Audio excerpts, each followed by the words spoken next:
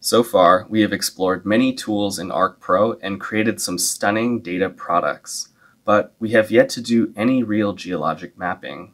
But what exactly is a geologic map? Geologic maps are graphically pleasing charts that display a bulk accumulation of geologic observations that ultimately describe the formative history of an area. Geologic mapping involves putting points, lines, and polygons onto a base map. More specifically, orientation points, geologic contacts, linear features, and map unit polygons. One thing I emphasize repeatedly in these videos is that when working on any project in ArcPro, proper setup and organization is paramount. I too am eager to start mapping, but we have a few more steps before we are fully operational. To put any points, lines, or polygons onto our map, we must first build the necessary infrastructure. In ArcPro, this means building a mapping feature dataset with mapping feature classes. In this video, I will show you how to create a mapping feature dataset that will house the map border, geologic contacts, geologic units, and linear features feature classes. As a review, recall that our catalog pane acts as the central command center for your project. It is here that we can find everything. Under the Maps folder, we see our initial map that was created at the beginning of this project. Also, underneath the original map is the local scene that we just created in the previous video. If you accidentally close out either your map or your local scene in your workspace, you can always reopen it by clicking them here.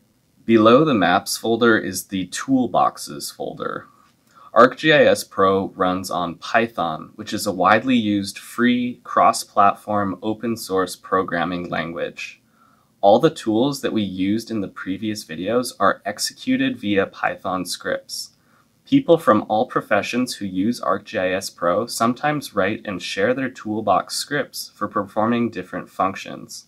For example, you can download an advanced hydrology toolbox if you are working specifically as a hydrogeologist. You can import additional toolboxes here if you are looking to perform different tasks or calculations.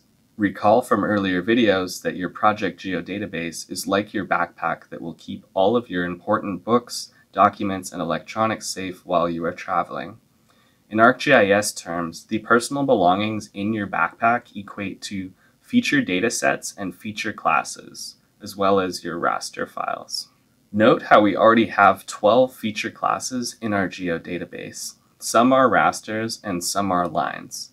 Each of these feature classes stand alone and are safely stored within the geodatabase. When geologic mapping, it is typical to group mapping features into the following feature classes. Geologic contacts, which are lines, geologic units, which are polygons, location features, which are points, and linear features, which are also lines. Additionally, we will add a separate line feature class for map border, which will come in handy for generating our geologic unit polygons later on. Another common polygon feature class used in geologic and planetary mapping are surface textures. These overlay the geologic unit polygons, and they show superficial features for example, a tephra blanket from a volcanic eruption, or ejecta from an impact crater. All these feature classes pertain to geologic mapping. We can group them all into a mapping feature data set within our geodatabase. A feature dataset is a collection of related feature classes that all use the same coordinate system. It is critical that we group all mapping feature classes into a feature dataset as this will allow us to use topology functions in ArcPro that are crucial for map creation. We will discuss more about topology functions in future videos. To create a new mapping feature dataset, right-click the SP Tutorial GeoDatabase, click New, and then Feature Dataset. This will open the geoprocessing pane. Here, we will name the feature dataset Mapping.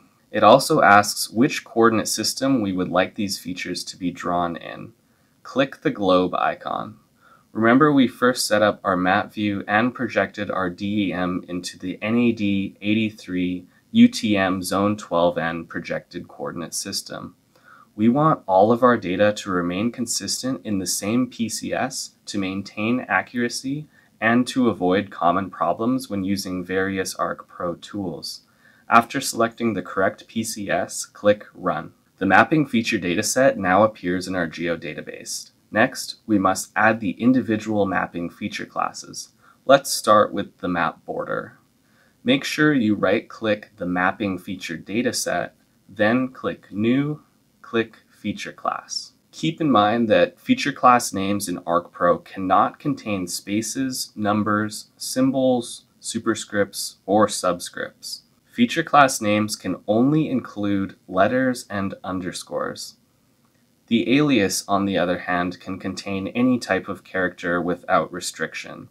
See how I write map border with no space for the feature class name and map border with a space for the alias. The map border will be a line feature class. Select line in the drop-down menu. You can uncheck the boxes for M and Z values as our mapping feature classes will all be two-dimensional. Check the box that will add the feature class to the current map for expediency. Now go down to the bottom and click Next. For map border, we will not create any additional fields. Click Next again. By default, the feature class should already have the correct NAD 83, UTM Zone 12N projected coordinate system, but it's good to double check. We won't change anything with the tolerance, resolution, and storage configuration, so now click Finish. We see the map border feature class is added to our contents pane, and now if we click the drop-down menu of the mapping feature dataset in the catalog pane, we see the feature class is now stored within the geodatabase under the feature data set. Next, let's create the geologic units feature class. Again, right-click on the mapping feature dataset and click New Feature Class. I set the feature class name to GeoContacts, honoring the no space syntax. The alias I'm free to write geologic contacts in full form. GeoContacts will be a line feature class.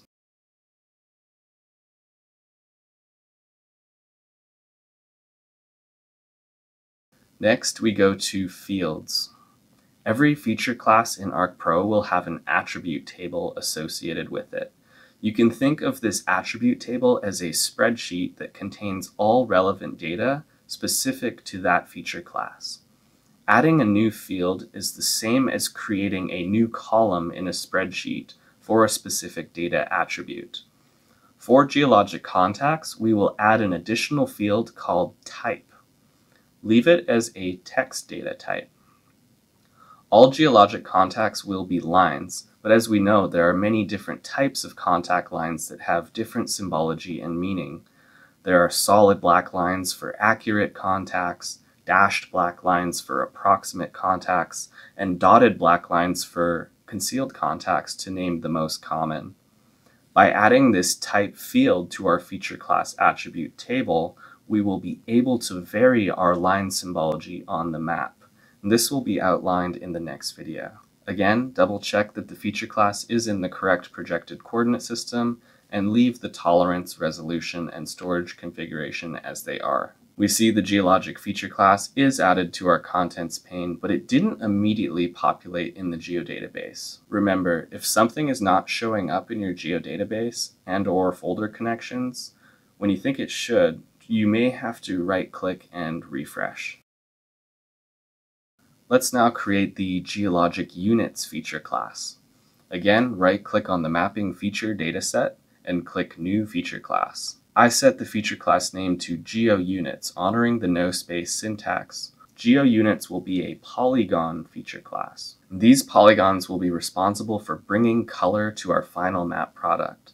Like before, uncheck the boxes for M and Z values and leave the Add Output to Current Map box checked. Next, in the Fields page, we want to add a new field called Unit.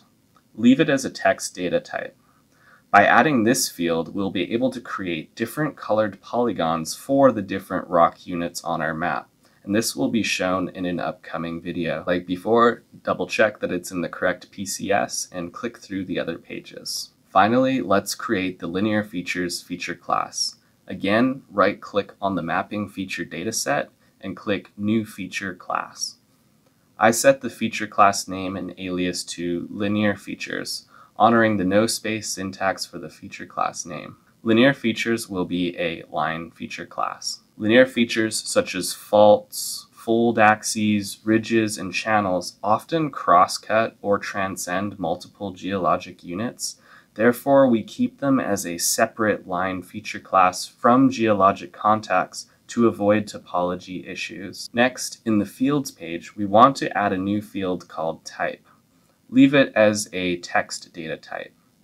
Since there are many different types of linear features in geology, we need to add this type attribute field to accommodate and distinguish between the many different map symbols. Congratulations, we are one step closer to mapping. We created a mapping feature dataset with four new mapping feature classes that are visible in our contents and catalog pane. One last order of business is to make a new mapping group layer in our contents pane to keep these new feature classes together.